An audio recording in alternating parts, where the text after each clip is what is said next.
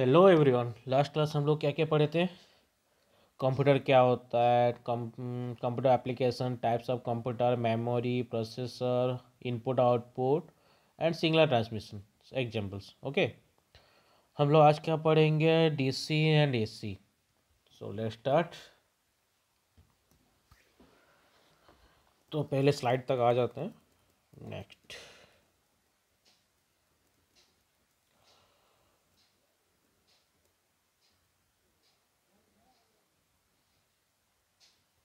A C and D C आप लोगों को पता ही होगा ए सी एन डी सी क्या है ज़्यादातर। ओके, पता हो, नहीं हो, तब भी मैं बता देता हूँ। डी सी होता है, डायरेक्ट करें ए सी होता है अल्टरनेटिव करें। ये हम लोग को एग्ज़ाम्पल के हिसाब से कहाँ पे मिलेगा? यहाँ पर देख रहे होगे कि एक डायरेक्शन जा रहा है ऐसे क्लॉकवाइज में positive to negative and A C में anti clockwise to clockwise D C and AC ये आप लोग का डीसी में आ जाता है, मोबाइल चार्जिंग जो होता है, आप देख रहे हो इंडिकेटर, कंप्यूटर में जो होता है सीपीयू उसमें भी देख सकते हो, टेलीफोन। जो डायरेक्ट करंट होता है, वो क्या करता है, चार्ज स्टोर करके रखता है। कहाँ पे रखता है, एक बैटरी, जो कि आपके मोबाइल जैसे हो गया, वो डीसी है। आपका रिचार्जेबल टॉर्च हो गया, वो डीसी है। एंड और क्या है इन्वर्टर हो गया, वो भी डीसी है। बट ऐसे क्या होता है? डायरेक्टली जो करंट हम लोग के घर में आता है। बाहर में देखते होंगे टू वायर पोल में लगा होता है।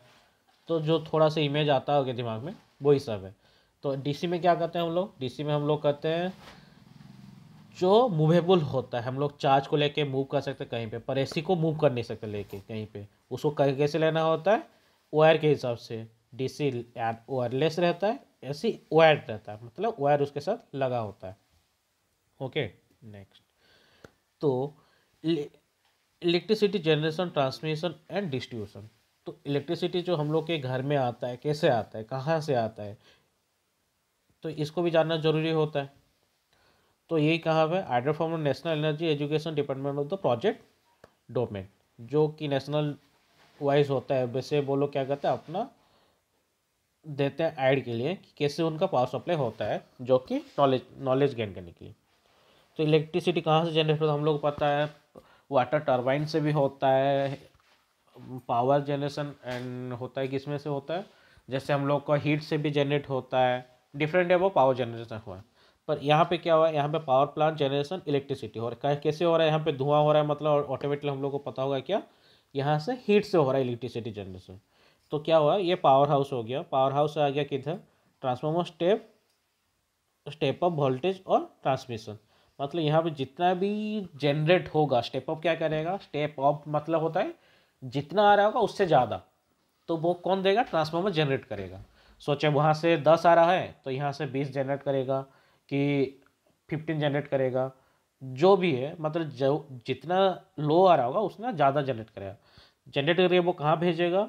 Transmission line carrier electricity long distances तुम लोग देखे हो कि बहुत बड़ा बड़ा पिलर रहता है ज़्यादातर टाउन के एरिया में नहीं रहता, जहाँ पे रूरल एरिया रहता है, जहाँ पे सिटी वगैरह ज़्यादा कम कम रहता है, उसी जगह पे दिखाया जाता है। बहुत सारा बड़े बड़े वायर, मोटा वायर में गया होता है बहुत बड़ा बड़ा पोल जैसे टावर हाइट का। उसमें क्या होता है, यहाँ से पावर जाता है उधर तो वहाँ से किधर जाता है?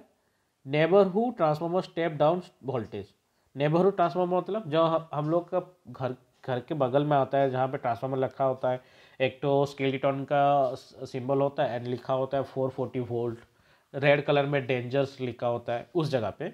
वहाँ पे क्या होता है?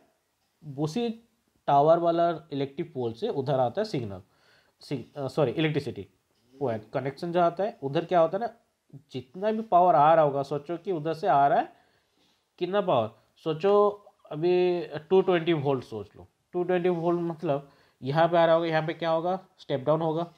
तो उतना तो हम लोग के घर में आता है तो कैसे होगा? तो यहाँ से आता है होगा, जितना वोल्टेज उसी को वो स्टेबलाइज करके क्या करेगा? घर तक भेजा। कहाँ तक? जहाँ हम लोग का मीटर है, जो कि हम लोग सेकेंड स्लाइड में आपको शो करूँगा।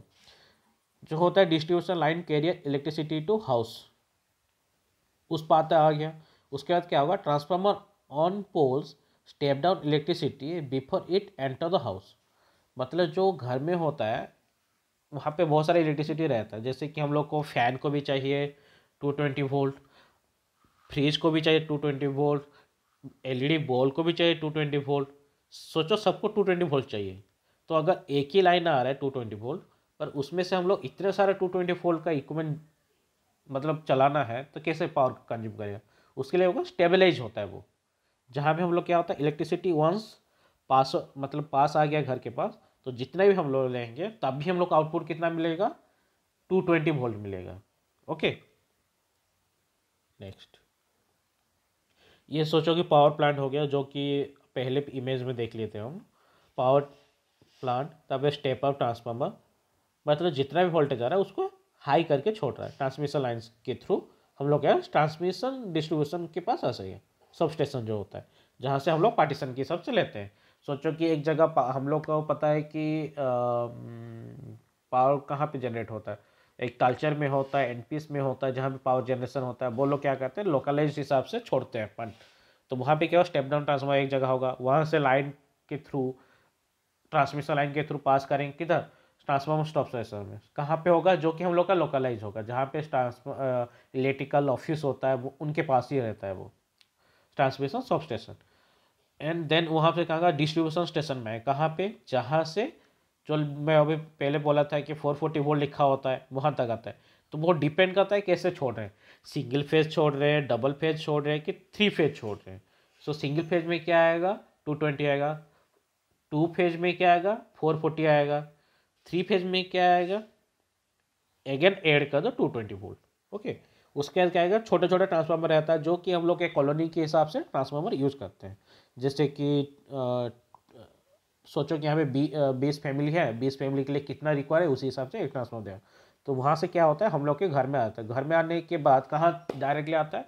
जो रहता है घर का मीटर जो कि हम लोग को पता होता है, यहाँ से बिल कटने वाला है। हम लोग जितना यूज़ करेंगे यूटिलाइज करेंगे, उतना बिल हम लोग का कटेगा यहाँ से। ओके नेक्स्ट यहाँ तक तो समझ गए होंगे। नेक्स्ट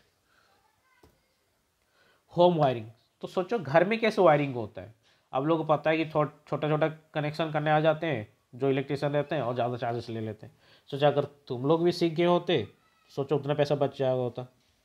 सो so, यहाँ पे क्या होता है हम लोग को पता है कि हम लोग आते हैं ट्रांसमिशन लाइन से डिस्ट्रीब्यूशन जो लाइन होता है आ गया। यहाँ से कहाँ? ट्रांसफार्मर से आ गया। ये कितना फ़ेज़ का है? ये सिंगल फ़ेज़ का है। कैसे पता चला? यहाँ पे दो वायर है। अगर तीन वायर होता तो एक होता आर्थी सॉरी एक होता न्यूट्रल और रहता सब लाइन न्यूट्रल में क्या होगा, जो कि रहेगा आयरन में। और जो रहता है इलेक्ट्रिक लाइन वायर जो रहता है, वो ज़्यादातर रहता है, क्या बोलते हैं उसको हम लोग संख बोल सकते हैं, जैसे छोटा छोटा ब्लैक कलर का रहता है रबर कोटेड रहता है, उसमें होता है। यहाँ पे देखो टू फ़ेज़ है, इसलिए यहाँ पे न्यूट्रल वायर एक है फ़ेज़ वायर एक है फ़ेज़ वायर को हम लोग पॉजिटिव लेते हैं न्यूट्रल वायर को हम नेगेटिव लेते हैं। यहाँ से डायरेक्टली आगे किधर? एनर्जी मीटर जो कि हम लोग का बिल करने वाला होता है। ओके, यहाँ से क्या हो गया? डायरेक्ट एमसीबी में गया। एमसीबी क्या करता है? हाई एंड लो को बैलेंस करता है। जैसे कि हम लोग का, जैसे फ़ैन बल्ब वगैरह नहीं बर्न आउट हो या नहीं जल जाए। तो यहाँ पे स्विच का कनेक्शन है। यहाँ से ये स्विच में, इधर गया एक तो बॉल के लिए, ये स्विच में गया फ़ैन के लिए, इस स्विच में गया एक बॉल के लिए। तो ये होता है ओवरऑल कनेक्शन इसको थोड़ा सा एनालाइज करोगे, तभी समझ में आ जाए कैसे पावर जनरेशन हो हुआ, कैसे आया, कैसे मीटर से हम लोग को एम सी बी में एम सी बी से कैसे स्विच में क्या, जैसे बॉल ग्लो कर रहा है, एक स्विच प्रेस करने से बॉल हो रहा है ऑन ओके नेक्स्ट स्लाइड सोचो वोल्टेज एंड करंट क्या होता है? बेसिकली हम लोग को जब भी कोई इलेक्ट्रिसिटी शॉक लगता है, हम लोग क्या बोलते हैं? मुझे करंट लगा। वोल्टेज लगा कोई बोलता है? नहीं। करंट लगा क्यों बोलते हैं? जो पावर है, वो कौन फेंकता है? वोल्टेज तो ऑलरेडी वायर में आते ही रहता है। तो पावर क्या होता है? जैसे बोलते हैं ना बॉल डीम हो गया है कि पावर घट गया है, जो ग्लो कर रहा होगा उसी से वो थोड़ा सा लेस ग्लो करेगा। तो उसमें से क्या पता चलेगा हम लोगों को? कि हाँ कुछ वोल्टेज घट गया या करंट घट गया पर वहाँ पे वोल्टेज कॉन्स्टेंट रहता है।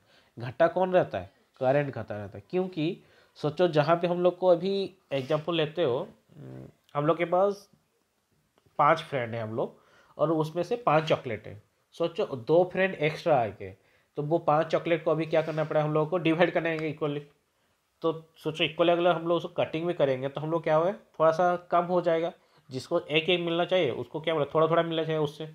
उसी हिसाब से जितना कंज्यूमर बढ़ जाते हैं, जैसे फैमिली बढ़ जाते हैं, तुम्हारे लोकेलिटी उसी हिसाब से करंट को रिडक्ट हो जाता है मतलब घट जाता है। ओके सो एग्ज़ाम्पल क्या है? सोचो, एक सिंटक्स टंकी है, वहाँ से हम लोग पानी ऐसे ले रहे हैं टैप के थ्रू तो वहाँ पे क्या हुआ, जो स्टोरेज हो रहा है, यहाँ पे क्या वाटर स्टोरेज है, जो पानी पास कर रहा है टैप तक, वो क्या है कंडक्टर है।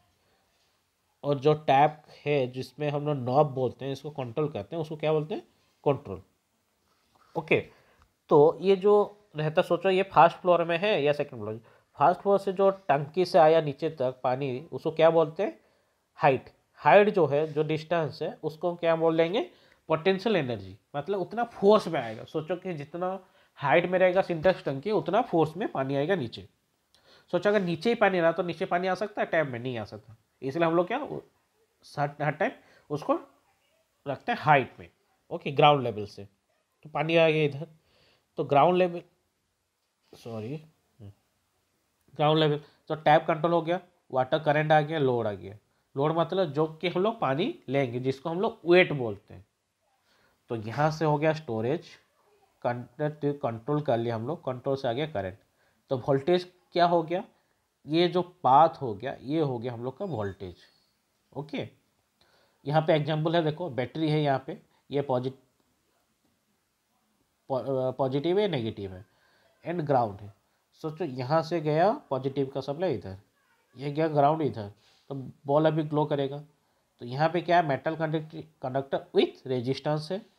Flow of electric current. यहाँ से क्या हो रहा है? इलेक्ट्रिक करंट फ्लो कर रहा है। तो वोल्टेज क्या है? कांस्टेंट है। वोल्टेज जा रहा है पर उसके प्लस क्या है? बैटरी का जो पावर रहता है सोचो कि जो रिमोट का बैटरी होता है अभी आ, रिमोट कार हो गया आप लोग के पास ओके? एग्जांपल कि रिमोट कार हो गया तो जितना स्पीड में आप लोग का कार चल रहा हो जब भी नया बैटरी होगा उतना स्पीड अगर तीन चार बार ऐसे चलाने के बाद चलता है? नहीं चलता है। तो स्लोली स्लोली वो डाउन हो जाता है। क्या डाउन होता है? करंट उसका डाउन हो जाता है। क्यों? जो वोल्टेज रहता है, जो फ्लो रहता है स्पीड रहता है मोटर का, उतना स्पीड का वो रह नहीं पाता, क्योंकि वोल्टेज रहता है एक मीडियम जिसके थ्रू में करंट पास होता है। उस करंट को वो स्लो डाउन कर देता है। ओके ओके नेक्स्ट हम लोग जब एग्ज़ाम्पल करेंगे कि इसका कैसे बॉल ग्लो होता है, क्या होता है, तभी हम लोग प्रैक्टिकली देख लेंगे। ओके ये क्या है हम लोग का वोल्टेज मेज़रमेंट करनी है comparison comparing a DC circuit to a flow of water मतलब कंपेयर करना DC circuit and flow of water कैसे होता है। यहाँ पे देख लो पहले इलेक्ट्रॉन फ्लो कर रहा है। वोल्टेज है डीसी वोल्टेज है एलईडी बॉल है ओके तो यहाँ पे चूज़ वोल्टेज प्रेशर है। ये वाटर टैंक है। थोड़ा सा एनालाइज करो, हो क्या रहा है इधर? इलेक्ट्रॉन फ्लो कर रहा है डीसी वोल्टेज सोर्स है एलईडी बॉल है, नीचे voltage press equal to pressure and low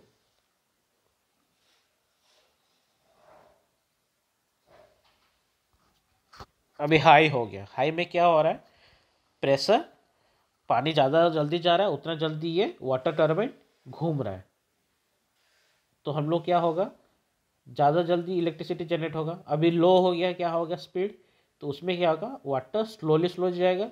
तो टर्बाइन भी स्लोली स्लो है। तो हम लोग वाटर जनरेशन क्या होगा? इलेक्ट्रिसिटी से लो हो जाएगा। जो लिमिट जो क्या होता है हम लोग का? वाटर फ्लो जो करंट घट गया अभी। पर वोल्टेज तो जा रहा है ना, जो पानी सप्लाई है। तो सेम वे वोल्टेज यहाँ पे जा रहा है, पर एलईडी बॉल उतना ज़ोर से ग्लो करा इन हाई में। बट इन लो में क्या होगा? वेट हाँ अभी।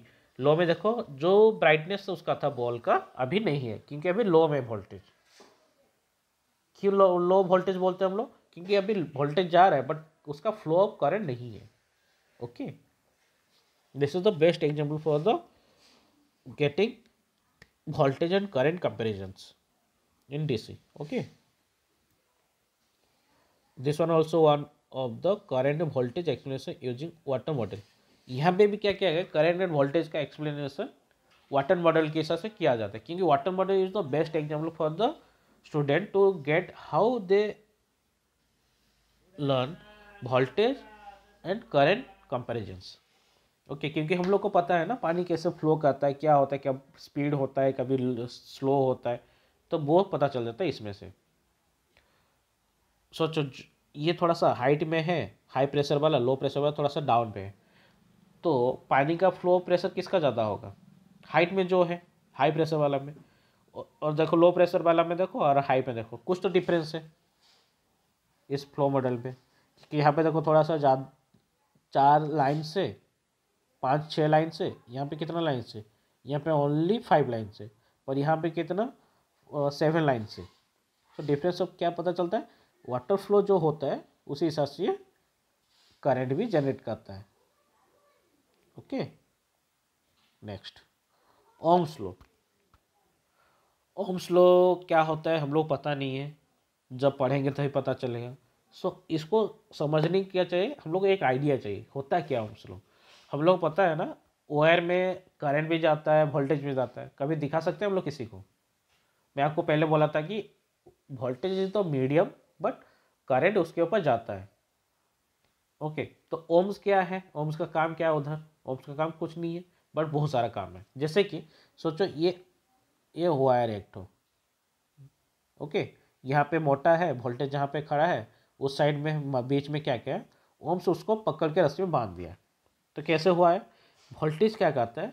जितना वायर का मोटा रहेगा, जितना ठीक रहेगा, उतना हिसाब से वो जाएगा। अगर सोचो एक वायर मोटा है, एक वायर पतला है तो उस जगह पे क्या होगा?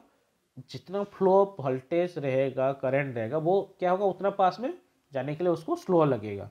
सोचो कि एक रास्ता है जहाँ पे एक ट्रक जा रहा है ओके और वो रास्ता में एक, सोचो एक साइकिल जहाँ पे रास्ते पे चलता है, उसमें एक ट्रक को छोड़ देंगे तो वो जा पाएगा क्या? जो भी सामान रहेगा उसको तोड़ ताड़ के जाएगा, या उसको कंप्रेस होके जाएगा सेम वे अगर वोल्टेज वायर में जाता है तो करंट को क्या करता है? वो पुश करते करते जाता है ओके पहले करंट को धकेलता है, उसके बाद वोल्टेज जाता है उसके पीछे पीछे।